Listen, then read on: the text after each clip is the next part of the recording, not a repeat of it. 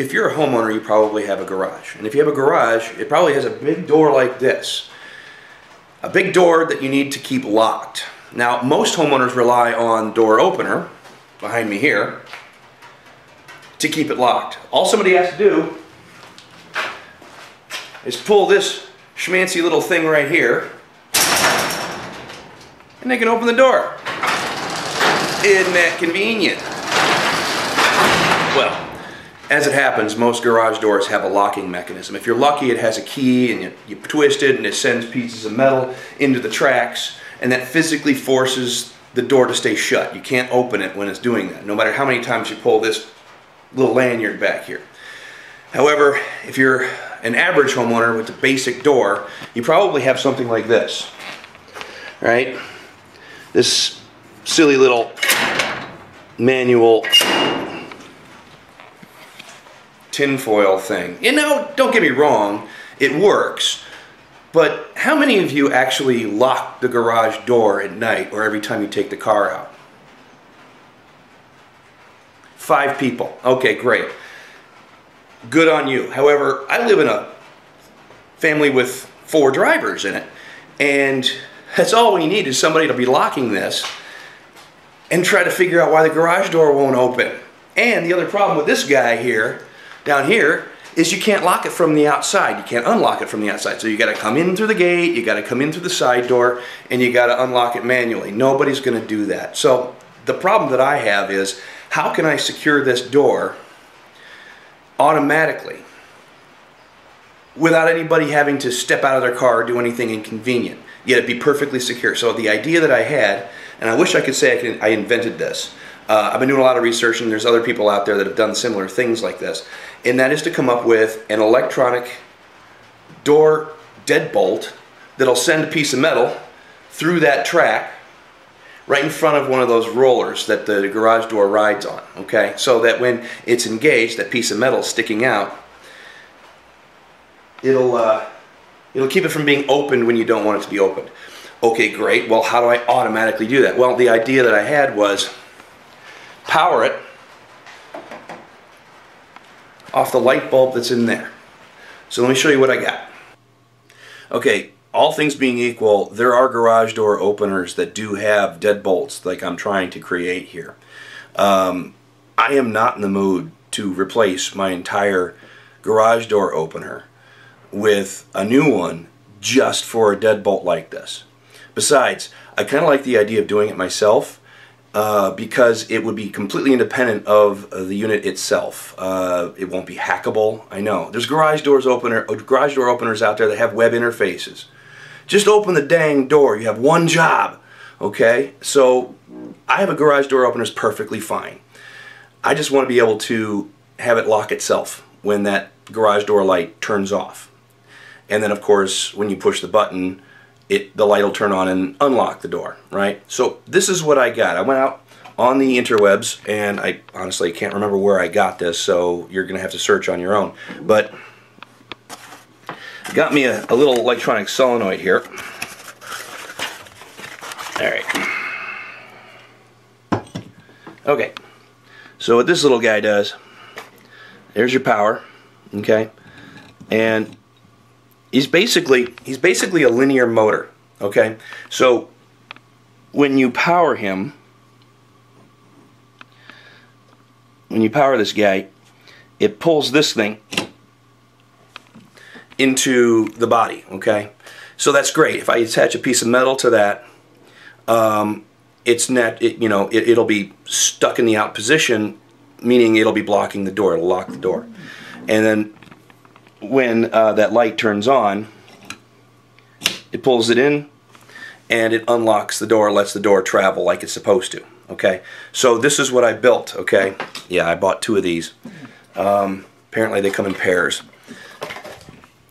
So I built this little sled here. Okay, this is the malapop malapopism here. Okay, all right. So there's our solenoid right here. Okay, there's the bit of metal. This is the thing that will stick through the track. Okay, so what I'm going to do is I'm going to mount this to the garage door track itself. This face, I will drill through the track and into the wood. Wood is important here because I don't want it to be conductive. Um, and I will uh, have it secured through a hole, little half inch hole, uh, to be locked. Now, remember, the solenoid pulls only, he doesn't push. Alright, so what I've done is I've got these little springs here. You can pick them up at Lowe's, Home Depot, any hardware store, no big deal. They have them in a drawer. Uh, and what they do is the natural position of this guy, right here, is in the out position. There's some good tension on these springs here, okay? Uh, and so they're attached to this fence here, and that fence also acts as a guide for the peg, okay? Which is which is just a piece of aluminum, okay? Um, it's bolted to the face of the solenoid right here, as well as the springs, okay? This also front face here also provides a guide and that mount point that I was telling you about where I just you know put screws through the track into this. So it is physically attached to the track. And I put this little hole this this piece here secures both fences together. So it's a nice strong uh, lattice work uh, so that it won't it won't wear. Because my intention is to put this in the garage and never touch it again. That's it. It'll be buried behind the cabinet um, I'll hear it, but that's about it. Okay, so hands off. And uh, yeah, so I did a little bit of woodworking here uh, and used uh, used Pop's drill press and uh, created this sled. I call it the sled. Um, and I put this hole in here for a little bit of whimsy because, yeah, you know, it's kind of cool. You don't want to see that thing. It says it's going to be mounted. It's going to be mounted on the wall like this. Okay. Get him out on the track like that, okay? All right. So yeah, I overbuilt it a little bit. I even I even sanded it and and oiled it. Now that's not whimsy, okay? Making it well engineered is important, and I oiled this. You know, sealed it. You can varnish it. You can. Uh, uh, the important thing is to seal the wood because it's a garage. It's going to have wild temperature swings. It's going to have wild humidity swings. I don't want this wood. this is oak I don't want to use pine for this. I want something pretty solid. Um, I don't want this to warp. I don't want to warp. I don't want to crack, break, or do anything like that. So the first thing I did after I fabricated all this wood is I sealed it, and then I put it together. So that's why I went a little bit further and actually finished this. Yes, I sanded it. I know, I couldn't help myself, but you know what? That's the German side of me. Malapopism, right? So let me plug this in, and you can see how it works. See, retracts it. Release, retract. So when you turn that, when you hit the uh, garage door button, the light turns on and unlocks it and the garage door starts to move. And then when that light turns off, releases it. There's your automatic right there.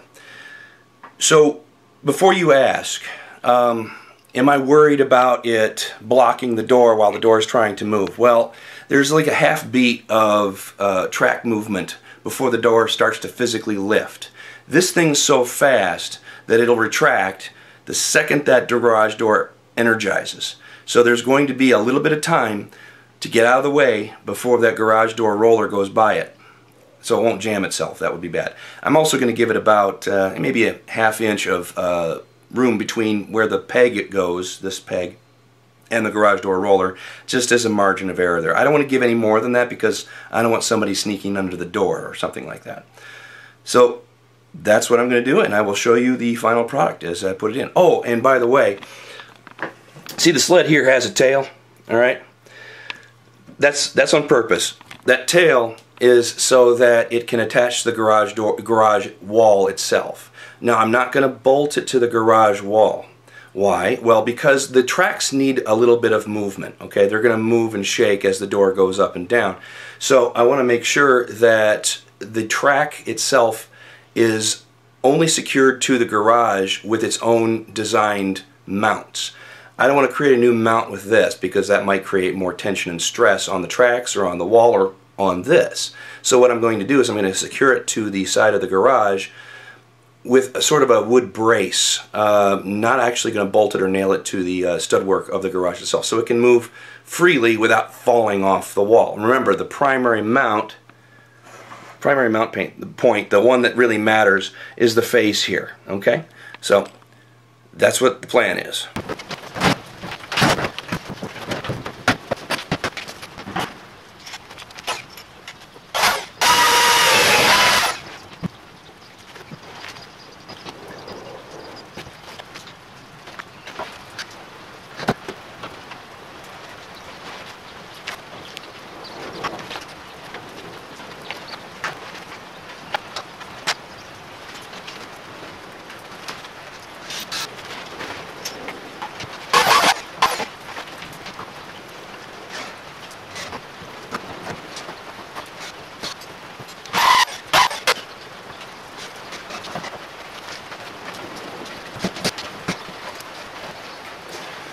Okay, it's installed. Time to test. So, all right.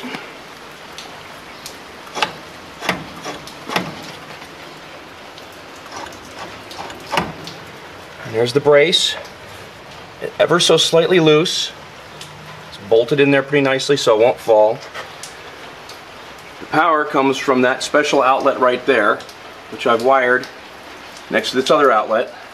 The one on the right is the one that's hooked to a special uh, separate set of power leads that goes all the way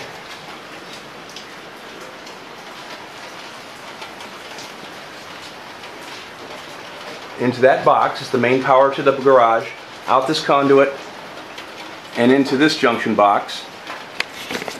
It's not covered right now because I'm expecting replacement light to come in because when I plug this in, this light won't work anymore, will it? And uh, so this is the lead that'll go into the bulb here. And we'll see what happens. All right, so I've hooked it up. With any luck, when I do the break beam here, the, the safety beam at the bottom of the door, it would normally energize the light bulb, okay? Well, now that we're hooked up, ready to go, all I gotta do is break the beam, and this should retract. Hey, look at that.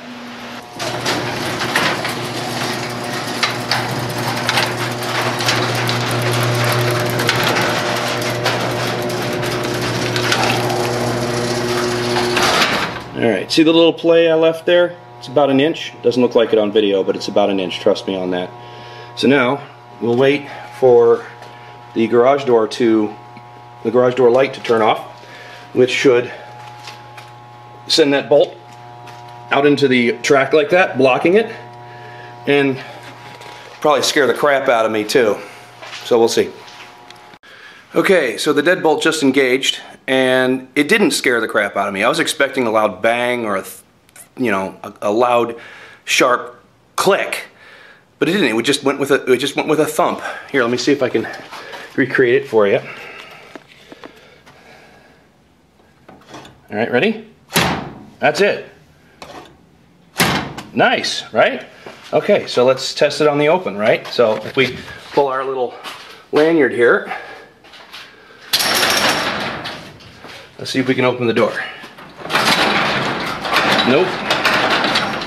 All right, so let's open the garage door. This should get out of its way.